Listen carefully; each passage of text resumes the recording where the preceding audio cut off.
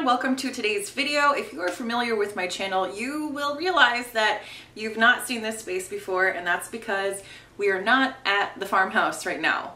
We This house right here is a really cute 1950s Cape Cod style house. It's super, super tiny. It's an investment property that my boyfriend, husband, partner, guy, been together for 13 years, I don't know what to call him. And I purchased a few years ago and we've had tenants in here and I haven't really had the chance to be in here and film or do anything. So I thought it would be fun for you guys to come along and see an aesthetic, a design style that's completely different than what I do over at the farmhouse. We were originally Airbnbing it in the outset, but the town that the house is in decided to nix Airbnb. So while the town was figuring out their legislation, we decided to put some tenants in here. The tenants just recently moved out, so we are cleaning it, kind of getting it all rearranged back to how it originally was, and we're gonna be putting it back on Airbnb. Today we're gonna be starting in the kitchen because the kitchen is the most fun and the most important part, and it's always what I like to see. Let's rewind a couple days, and I'm gonna show you everything. So this kitchen was left pretty gross, so I'm going through and just rewashing all of the dishes.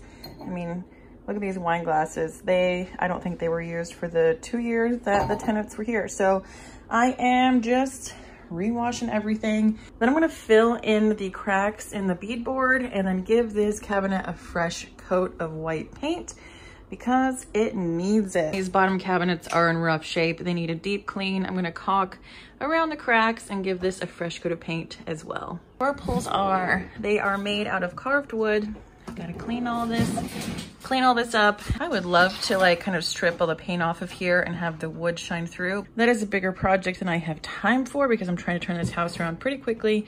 So we're just gonna clean it and give it another coat of paint and maybe that can be a project for later on. The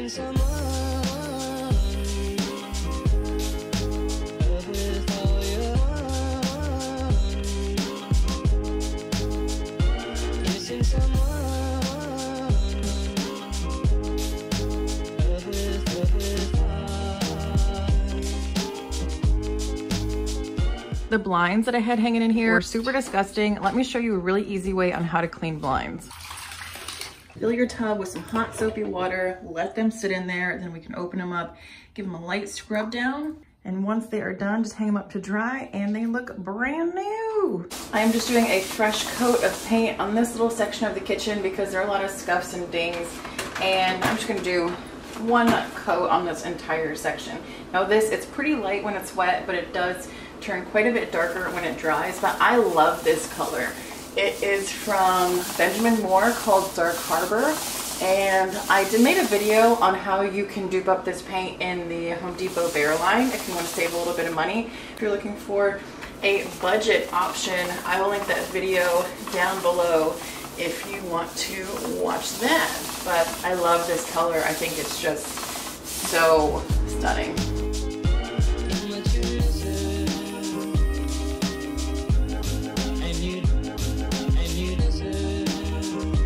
All right, let me show you guys how to clean an electric stove if you have a stove like this. It is super duper easy. So all of these elements just kind of plug in and the kind of drip bowl comes out with it as well. So just lift it up and pull it right on out of there. That way you can wash the element and then you can wash the bowl as well.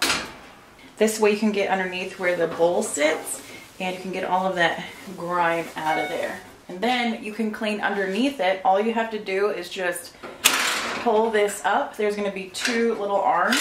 Pull it up until it latches and then you can clean under here as well. All right, so see this little like kind of hinge right here? There's one on either side. Once you're done cleaning, you just push these in and then the top will go down and then you just kind of click it down into place. Then see this little part right here? That's where your element plugs back into. So these little prongs are gonna plug right into here. There you go. When designing this house, I just wanted it to be fun, like quirky, weird, eclectic, a little nod to mid-century, and everything in this house is either from the thrift store, from Facebook Marketplace, or from the gifts of the streets of New York City. So let's get into this. I'm gonna show you, I'm gonna show you everything because I'm excited and I love it. Kitchen is just about done. When we first bought the house, these cabinets were red. I decided to paint them white and somewhere between offer and close, one of the cabinet doors went missing. So I just decided to take the other one that was still left here off and do an open concept style cabinet and I love it. You get to see my cute little bowls and colanders and stuff and I think this definitely works for this kitchen space. Since cabinet and drawer space is a little bit limited, I decided to add some wine boxes over here on the wall.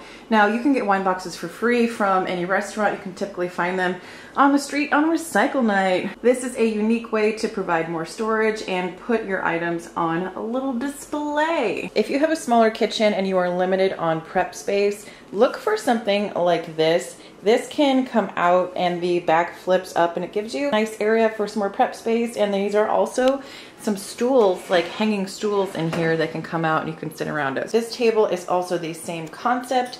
The back part flips up and you could seat a good four people around this table. If you need even more storage, this is a medicine cabinet that I got at Habitat and I just use it as kind of like a spice rack, spice cabinet type of ordeal. I love this thing. I think I snagged it for about 10 bucks. If you're doing more of an eclectic design, pieces are going to find you. I picked this up at the thrift store for a couple dollars. I found the Miles Davis poster in the city on the street. Animals very quickly decided to become a part of the vibe of this house. Started moving into like a more of a nomad style design with things that you would bring back from your travels or things where from places where you wish you could travel to. So that was kind of a through line through this as well. got this vintage toaster off of Amazon and it's always nice to have a fun little mix of cookbooks, especially some that kind of date to the era that you are trying to create in your home. One of my favorite details in this kitchen is this stained glass little window. I love it.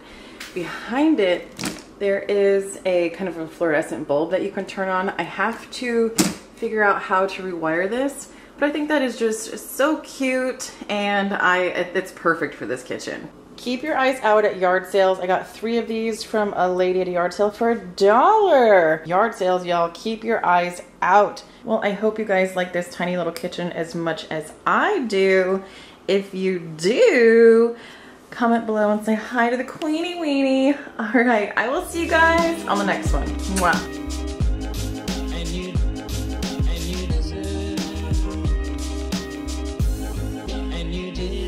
from the